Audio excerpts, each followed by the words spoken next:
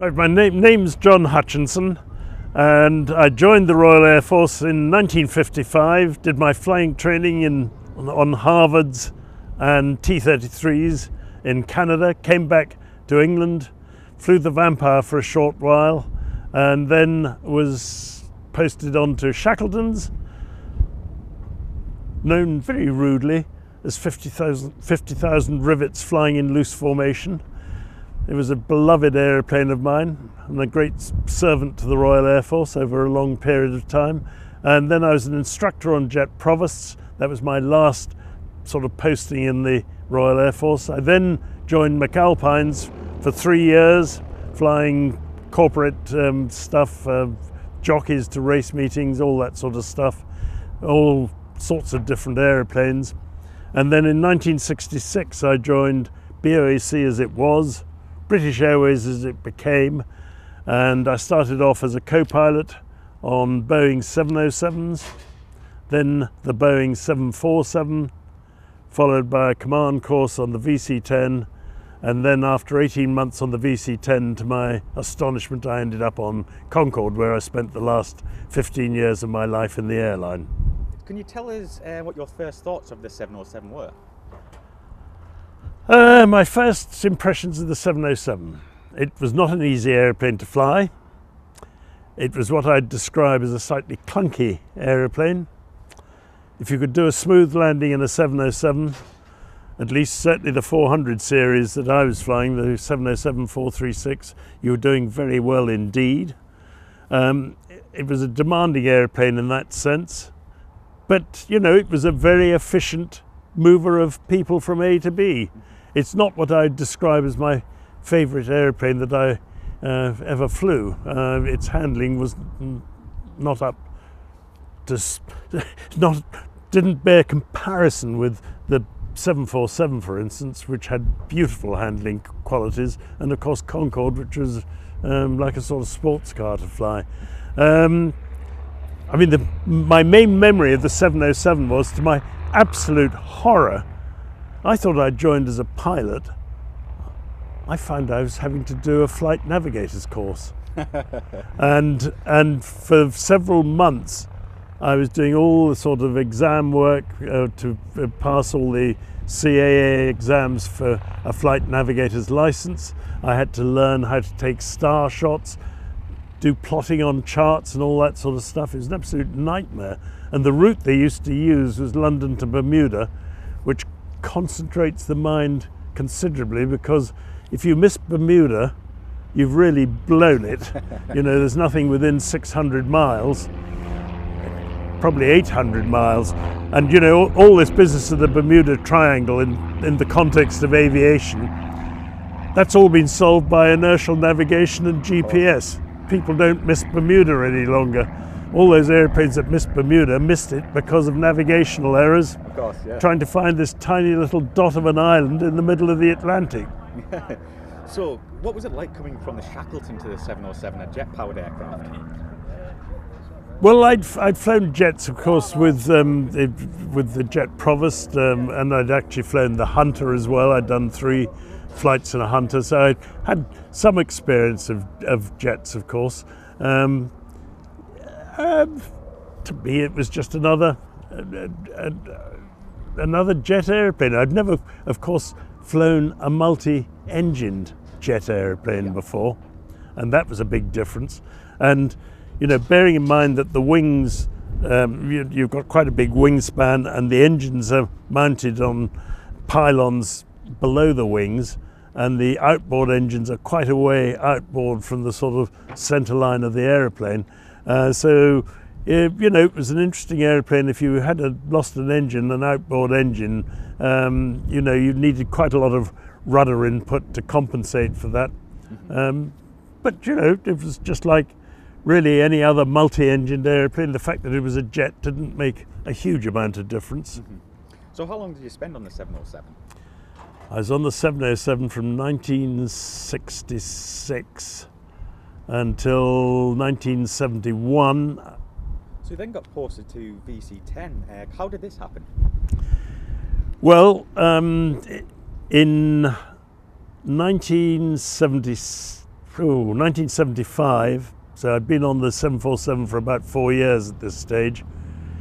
Um, my number came up for a command course, and I was offered the chance of either a command on back on the 707 or to go on to the VC10. And I thought, well, I've already flown the 707. If I could go on to the VC10, that's another aircraft type in my logbook. So I opted for the VC10. Um, so that involved a full conversion course onto the VC10 as a preliminary, and then that was followed by the command course once I'd done the conversion. And how long did that take? I think, I, well, roughly speaking, I went on to the VC10 in about October uh, 1975, and I was validated as a captain on the VC10 in January 1976. So could you tell us what it was like to fly and how did it handle? VC10 was a lovely aeroplane to fly. Again, a very gentlemanly aeroplane. Because the engines were mounted in a cluster at the back and the tail, it, it, in terms of asymmetric handling, it was a much, much easier aeroplane to fly um, than a multi-engine aeroplane where you've got engines mounted way out on the, on the wings. So if you lost an outboard engine in the VC10, you didn't have much in the way of control problems to deal with. Um, so it was a very easy, benign, gentle aeroplane to fly. And it was extremely popular with passengers because it was very quiet. Because those engines were at the back, all the noise was at the back. And it's also a very fast aircraft and it holds some records. Uh, what speeds did you uh, normally see? We, we cruised at, uh, I don't know, 0.84, something like that Mach number. Um, I, I, I've no doubt it could have cruised faster than that, but then you run into problems with fuel burn and, and economy and all that sort of thing. So what kind of routes would you do on the VC10? Well, the airplane, of course, was really designed for hot and high airfields. Mm-hmm. So the sort of classic route that the VC-10 was designed for was flying out of Johannesburg or Nairobi, you know, sort of airfield elevations of five, 6,000 feet, where you've got that, that high altitude combined with high temperatures. And this aeroplane was absolutely superb for that sort of an operation. How many crews did have? Well, we had three flight crew, which was a captain, co-pilot and a flight engineer. And if my memory serves me right, six cabin crew. And how different was it coming uh, from the Air 707?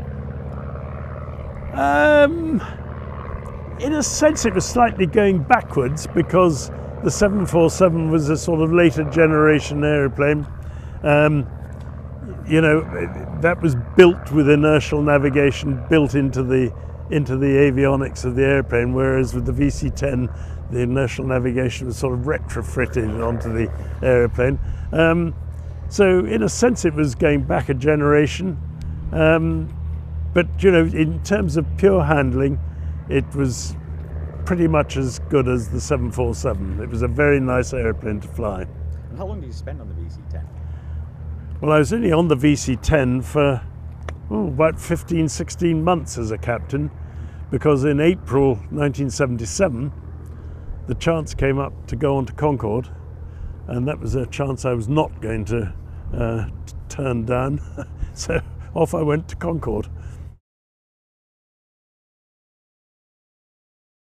Well, starting off with the flight instruments, the flight instruments for the captain are here, as you can see and then they're reproduced on the co-pilot side exactly the same set of instruments. The layout of the instruments basically is a standard layout, very similar to the layout of the instruments on the Concorde flight deck.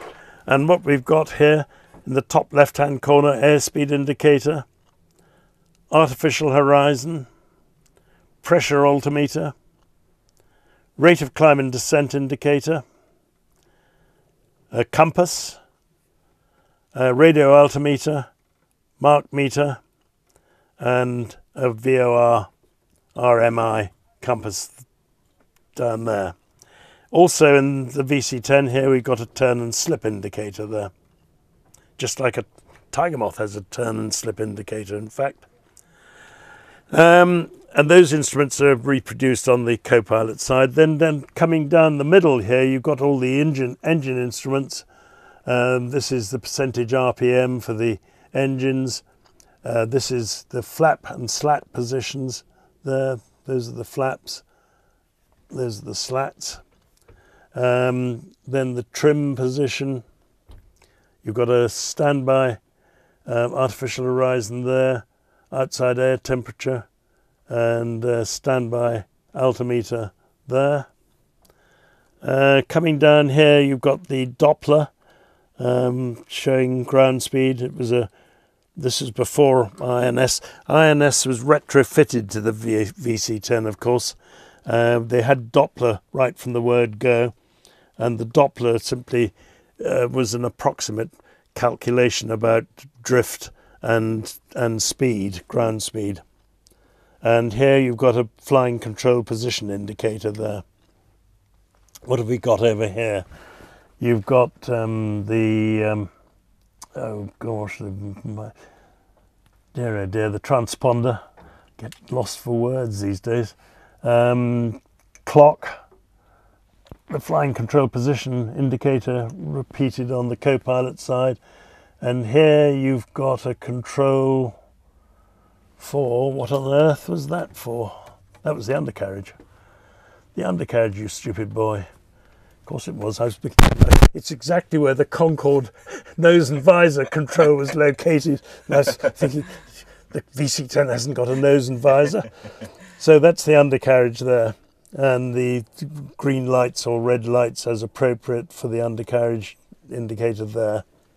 Then coming down the central thing, you've got your throttles, reverse thrust, reverse thrust only on the outboard engines, not on the inboard engines.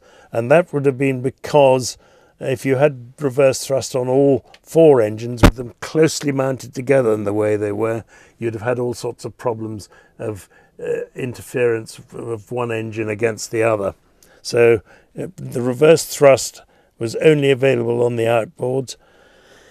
Here you've got the speed brake control there we got the flap selector. Here on each side, a captain's trim control and a co-pilot's trim control. Um, I can't remember what that one's for. I'm sorry to say. Uh, we've got the radar control there, repeated for uh, for the co-pilot as well. And then here we have the inertial navigations which are retrofitted, two of them. Uh, you've got all the uh, navigation autopilot control switches located here. Uh, then the radios, rudder trim, aileron trim, and coming back here the master fuel cocks uh, for the four engines. HP cocks. Just on this overhead panel here, just going very quickly, uh, this was a control box associated with the flight data recorder. Got a radio there. Um, you've got um, not totally sure what that one is. Uh, flying control, a position indicator of all the control surfaces and the tailplane in there. Uh, you've got windscreen wipers there, um, various test switches for testing various systems. And then coming down here, you've got an ADF, uh, that's an automatic direction finder, one there and one there. And here you've got the switches for the landing lamps to extend them and retract them and actually physically turn them on and off. And here we've got the control for the on-off switch for the inertial navigation system. That's for the one down there in the center pedestal on the left hand side and that's the on-off switch for the inertial navigation system for the co-pilot on the center pedestal right hand side. Here you've got a GPWS um, ground proximity warning system. So that's about it.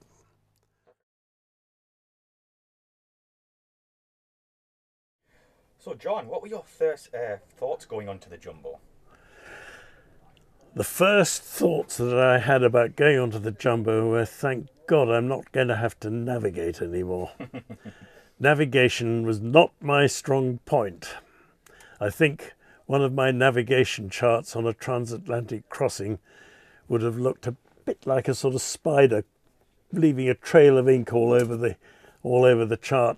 I'm not a very tidy writer and I'm not very tidy with my hands. Uh, so it was a great, great relief to find myself on an aeroplane that had inertial navigation and you knew where you were instead of having a rough idea of where you were about 10 minutes ago, which is the reality of the sort of navigation I had to do on a 707 with astro shots and plotting bearings and all that stuff. So a big relief. It was a huge, huge, huge relief. Yeah. So could you talk us through your initial training on the 747? Well, there was the ground school, of course, and you then have to pass all those exams. And once that was over, we went over to Shannon, and uh, and we did the flying, the circuits and bumps over at Shannon. That was absolutely fabulous. And I'm not sure whether I should say this, but I'm going to say it anyway. One of the instructors there was in 617 Squadron, the Dam Busters. I didn't know that at the time, I have to say. Um, that's one of the great sadnesses for me.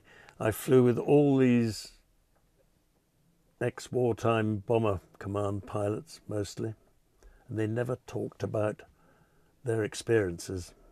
They kept very quiet about it all, and I would have loved, I didn't feel as a rather junior co pilot that I should ask questions and probe them and all that sort of thing.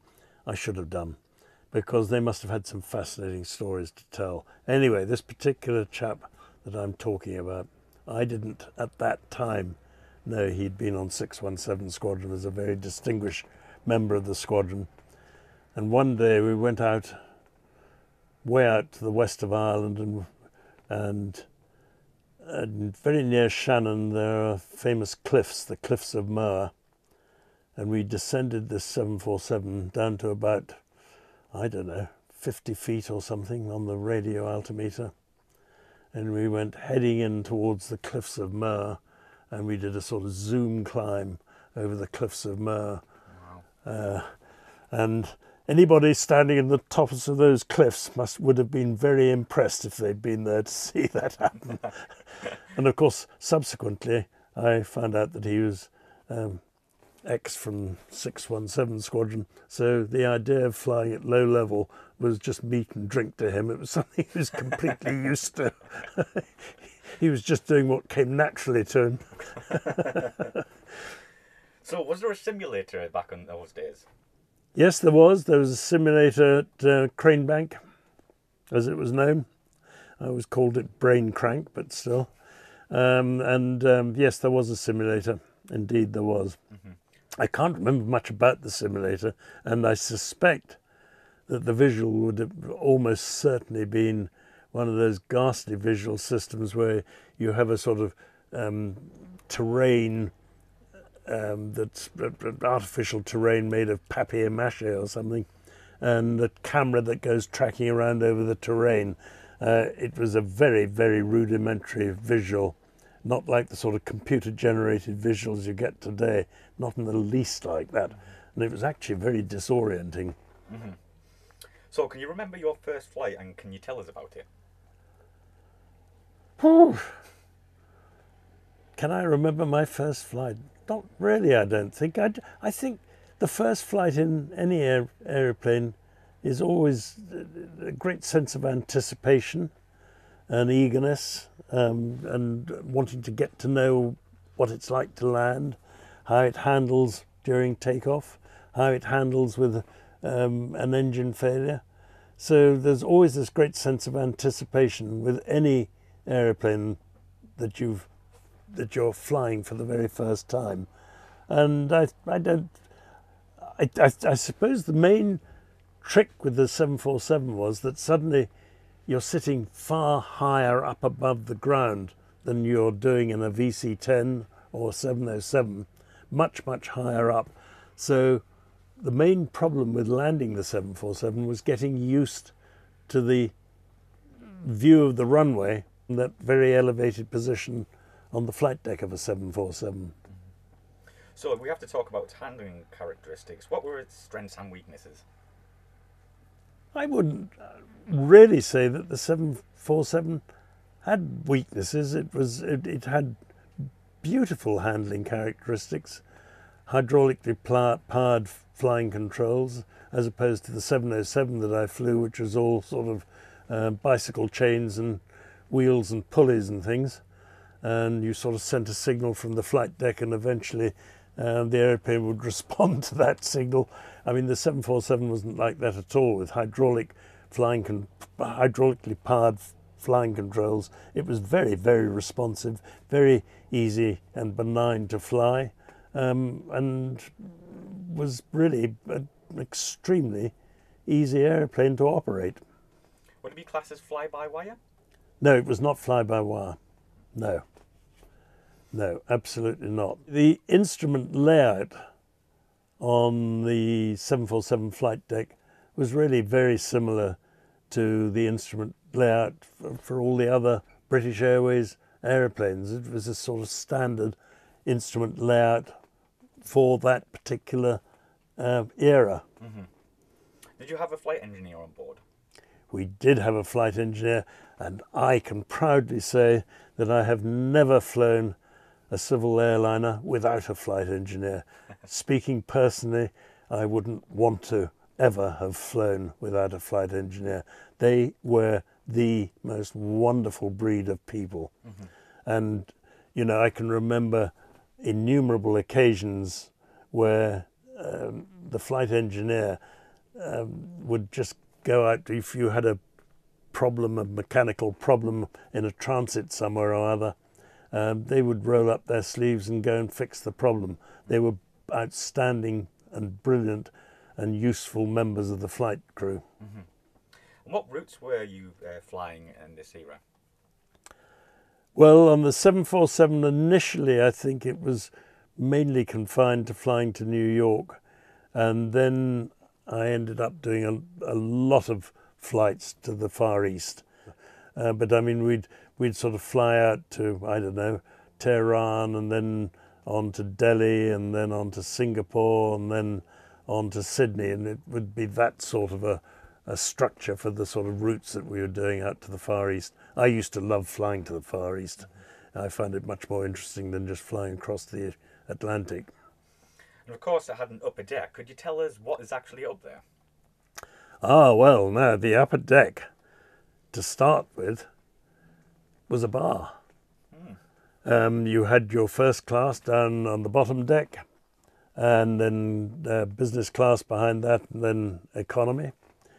And the first and the upper deck was purely and simply a bar for the first class passengers. And um, it was a wonderful facility, total waste of space uh, in commercial terms, but it was a jolly nice thing to have. Um, I remember once being positioned out to Hong Kong as a passenger, and we were traveling first class. And my captain, flight engineer, and myself went up into the first class bar to enjoy a couple of hours up there.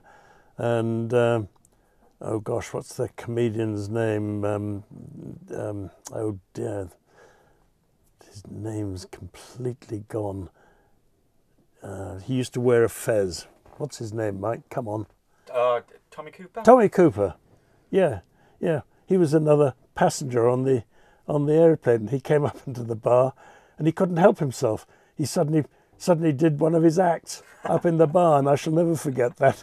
I mean, he, he wasn't doing it because he was making money from doing this act. It was just he couldn't help himself. he was he, always on. He even had his red fez with him. so, what was your favourite location to fly to? Oh, I think I would rate uh, Hong Kong, Singapore, and Sydney as on the. I'm talking now about the 747. Um, on, on the routes that they did, I would rate those places as pretty much my favourites. Yeah. And was the 747 a reliable aircraft? In the very early days, they, they had all sorts of problems with the um, and you know it was prone to sort of engine surges and various engine problems. Uh, but gradually these got sorted out and it became very, very reliable, really. So, do you have any memorable stories flying the jumbo, or anything that comes uh, sticks in your mind? Yeah, I mean there are. I, I mean, uh, one story that I will never forget. It's not actually a happy sort of story, um, and I don't. When I tell this story, I'm not saying it because I want to be rude about Australians, because I love Australians and I love Australia. But I remember we were flying a blind man who was going to New Zealand to join his son in New Zealand. And he was flying with his guide dog. And he got all the paperwork and all the rest of it. No trouble at all. All been authorised by the Australian High Commission in London. And we'd flown down from the, the route on that particular service was through Hong Kong and then down to Darwin, Sydney, and on to Auckland. And we'd flown from Hong Kong down to Darwin, and these chaps with their white uniforms and white stockings and white shoes got on board to do the sort of health check of the aeroplane and they absolutely freaked out when they saw the dog. The fact that this gentleman had got all the paperwork with him made no difference at all, and I'm appalled to say that the dog was taken away and destroyed. No way. Yep. Um, and I know I can remember clearly the captain um, getting terribly upset about this and making his feelings very, very clear about the situation. And he was told if he didn't wind his neck in, he'd be appearing in the magistrates' court. So there we are. Um, I, I'm sure that that wouldn't happen today if such a situation arose again, but that's what happened on that day, and it must have been, oh, I don't know, it must have been about 19. 73, 74, something like that, I suppose. I don't think you get away with that uh, this day and age. It's absolutely appalling. Um, so you asked if it, no, no, you can't argue with these people. Absolutely not. So at the time, did the jumbo get the response when you landed in airports like Concorde did? Oh, that's a very interesting question. I don't, I, I don't think it did actually, Mike. Okay. I, th- I th- I think people have just got used to it. Um, that's a very interesting question. I hadn't actually sort of thought about that. I, I mean, I suppose because it was a subsonic aeroplane and basically it looked like a sort of overgrown 707, it wasn't that much different. Um, it was just a lot bigger. And being a lot bigger doesn't necessarily sort of capture the imagination. I mean, Concorde was such a different shape and it flew at such different speeds and different heights that it created a sort of sense of wonderment and awe in anybody who looked at it uh, in a way that the 747 really couldn't command that sort of reaction in people, I think. I mean, the, the, the, final version of it that British Airways has been flying and still flying today, the 747-400, was a very, very different 747 from the 747-100 that I flew with a flight engineer. I mean, the 747-400 was a glass cockpit aeroplane. I've never flown a glass cockpit aeroplane. It didn't have a flight engineer. So it's a completely different aeroplane. I mean, hugely different. I, I, here again, I'm using proximate figures, but I think the maximum all-up takeoff weight for my version of a 747 that I flew was around 330 tons maximum all up weight. Uh, the 747-400 is about 430 tons. So you're talking about 100 tons heavier aeroplane. Very, very different aeroplane indeed. Uh, and that's one of the incredible things about the 747 that there were so many different versions of it built during its lifetime. Mm-hmm. And just talking about the takeoff there, was it difficult to land being such a big aircraft? No, it wasn't. It, I mean, the thing that you had to get used to was the height that you were above the runway as you were in the flare, because you were a long way up. Uh, but once you got used to that, and that became what was normal for you, um, no, it was it was it was a very it was a very benign aeroplane, and it handled extremely well in a crosswind, as well, very well. So, how long did you fly on the 747, and did you enjoy it? I was on the 747 from oh gosh, about January 1971 until the middle of 1975. So I was on it for about four and a bit years, four and a half years, something like that. And I loved it. I've got very happy memories of the 747. Um, it was a nice aeroplane to operate, nice aeroplane to fly.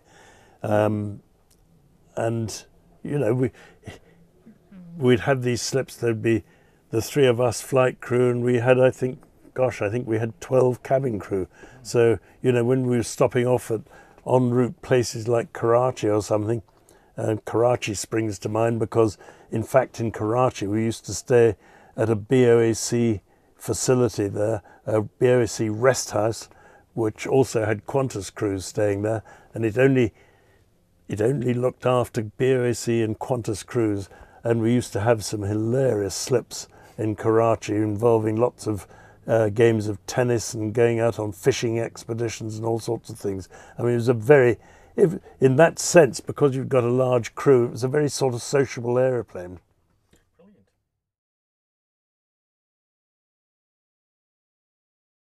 So, John, what have, uh, what have you been up to since the last time we spoke? Well, basically, I've given up flying because my eyesight isn't really up to the sort of standard that I feel happy about. It's perfectly all right for normal day to day living, but I have great problems actually seeing potential conflicting traffic.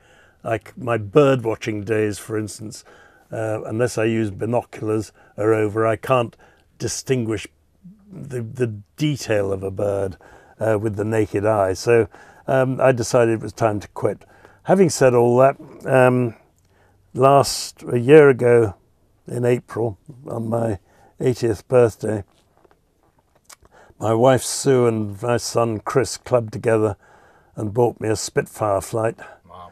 which I did from Duxford with a wonderful chap, a good friend of mine called Cliff Spink, who's a, a retired air marshal. And he's the most delightfully modest and courteous man, an absolute delight. So if anybody's wanting to do a Spitfire flight, can I strongly recommend that you insist on flying with Cliff Spink. He's utterly brilliant. Anyway, he gave me this thorough briefing and said, Look, John, just treat this as an overgrown tiger moth.